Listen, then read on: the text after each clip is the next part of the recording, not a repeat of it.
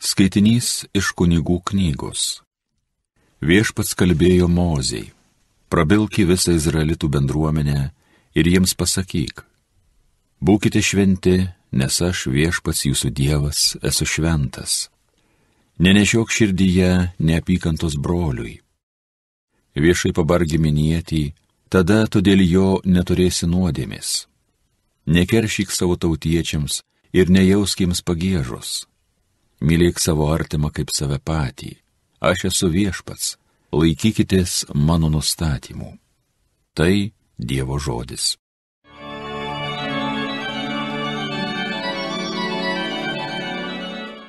Viešpatie, kasgi galės tavo namuos pasilikti? Tasai, kas nesuteptas vaikšto, kas elgės teisingai, kas iš širdies kalba tiesą, kas liežuviu ne vieno nešmeižė viešpatie, kasgi galės tavo namuos pasilikti. Kas kitam nieko piktą nedaro, neužgaulioja kaimyno, kas griežtai nedorėlį smerkia, o viešpaties bijančius gerbė. Viešpatie, kasgi galės tavo namuos pasilikti.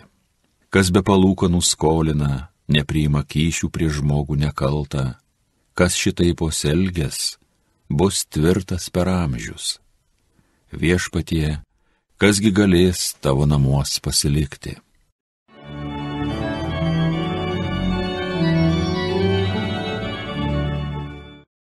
Antrasis skaitinys iš Šventojo Paštalo Pauliaus laiško filipiečiams.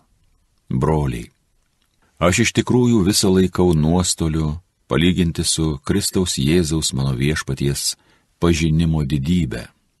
Dėl jo aš ryžausi visko netekti ir viską laikau sąšlavomis, kad tik laimėčiau Kristų ir būčiau jame, nebeturėdamas nuosavo teisumo, kurį teikia įstatymas, bet turėdamas teisumą iš tikėjimų Kristumi, einantį iš Dievo, paremtą tikėjimu.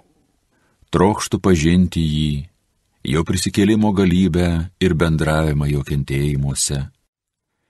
Noriu panašiai kaip jis numirti, kad pasiekčiau ir prisikėlimą iš numirusių. Nesakau, kad jau esu šitai gavęs ar tapęs tobulas, bet vėjuosi, norėdamas pagauti, nes aš jau esu Kristaus Jėzaus pagautas. Vis dėlto, broliai, aš nemanau, kad jau būčiau tai pasiekęs, tik vieną tikrą. Pamiršęs, kas už manęs, aš veržiuosi pirmin į tikslą, siekiu laimikio aukštybėse kurio Dievas kviečia siekti Kristuje Jėzuje. Tai Dievo žodis. Šlovėtau Kristau, amžinosios garbės karaliau. Aš jums duodu naują įsakymą, sako viešpats, kad jūs vienas kitą mylėtumėte, kaip aš jūs mylėjau. Šlovėtau Kristau, amžinosios garbės karaliau. Iš Evangelijos pagal Joną. Jėzus tarė, kaip mane tėvas mylėjo, taip ir aš jūs mylėjau, pasilikite mano meilėje. Jei laikysitės mano įsakymų, pasiliksite mano meilėje, kaip aš, kad vykdau savo tėvo įsakymus ir pasilieku jo meilėje. Jums aš tai kalbėjau, kad jumise būtų manasis džiaugsmas ir kad jūsų džiaugsmoj nieko netrūktų. Tai mano įsakymas, kad vienas kitą mylėtumėte kaip aš jūs mylėjau. Nėra didesnės meilės, kaip gyvybę už draugus atiduoti. Jūs būsite mano draugai, jei darysite, ką jums įsakau. Jau nebevadinu jūsų tarnais, nes tarnas nežino, ką veikia jo šeimininkas. Jūs aš draugais vadinu, nes jums viską paskelbiau, ką buvau iš savo tėvo girdėjęs. Ne jūs mane išsirinkote, bet aš jūs išsirinkau ir paskyriau, kad eitumėte, duotumėte vaisių ir jūsų vaisiai išliktų, kad ko tik prašytumėte tėvą mano vardu, jis visą jums duot. Aš jums tai įsakau, vienam kitą mylėti.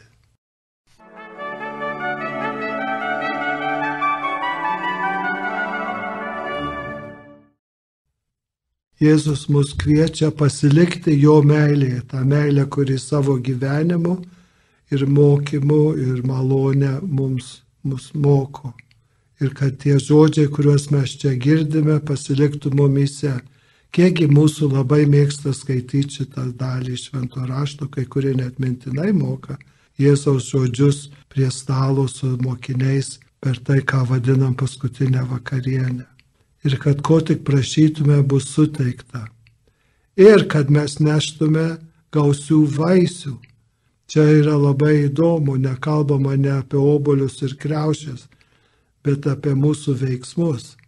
Nes Vatikanas II bažnyčios visuotinis suvažiavimas prieš šiemet švesim 60 metų mokė, kad bažnyčia yra ne sienos, ne pastatai, labai gražus barokiniai, gotikiniai, bet bažnyčia yra veiksmažodis.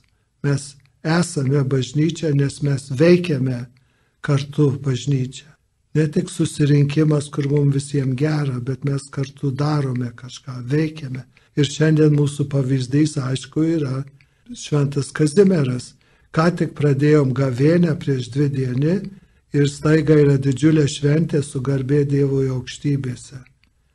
Ir su tikėjimo išpažinimo Švento Kazimiero Lietuvos globėjų, lietuvų jaunimo visame pasaulyje globėjų. Ir pažiūrėkime jo gyvenimą, jau kiti geriau už mane žino, nors aš gan senas gal turėčiau atsiminti. Švento Kazimiero asmeniškas elgesys jo dora, jo pareigos kaip savo tėvo vardu valdytojo Lietuvoje, administratoriaus, su kaip su tarnautojais, su tokiais sažiningus tarnautojus palaikė, nesažiningus atstumė. Jo maldingumas, pagalba mes girdime vargstantiems seneliams, ligonėms jos sugebėjimas susitelkti, apmastyti ir išgyveno sunkius dalykus, kaip ta kelionė, nelaiminga kelionė į Vengriją paimti sostų, kai jis buvo tik paauglys. Tai Jėzus mus moko, ką esame iš tėvo girdėję, duoti vaisių, gyventi pagal tai ir duoti vaisių. Ir žinoma, vienas klasikinis Švento Kazimiero atvaizdas yra, kuris užmėgęs prie katedros vartų išėjęs iš valdovų rūmų. Tai čia yra vienas būdas melstis. Yra daugybė maldos būdų. Ne tik tai būt prisiglaudus prie katedros durų ar bažnyčios durų ar kur nors kito, bet visos tos kasdienės eilinių žmonių kaip mes maldos. Ir troliai buse, ir gamtoje, ir prie jūros, ir stebint snaigės per langą, arba vaikščiojant parke, kai sninga, ar kas bebūtų, yra daugybė maldos būdų.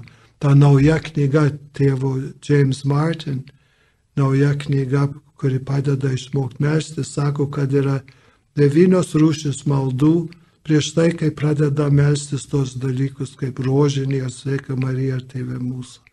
Visi atodusiai, troškimai, nuojauta, aš norėčiau daugiau melstis, kaip aną dieną viena keturių vaikų mama man sakė, aš norėčiau daugiau melstis, tai jos malda nebus kaip vienuolyjoje, uždaroj vienuolyjoje, bet jos malda bus maudant vaikus, verdant valgyti, rūpinantis jų mokslais ir visų kitų.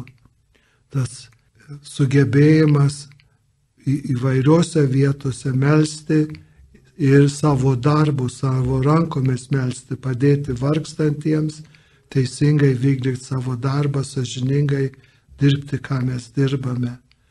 Yra, bažnyčia yra veiksmažodis. Būti krikščioniu yra netupėti ir gražiai nuotraukoje atrodyti, bet veikti. Čia mus moko Vatikanas II kažkoks pagristas Evangelija. Šventumo kasdienybė kasdieniuose ryšiuose, darbuose.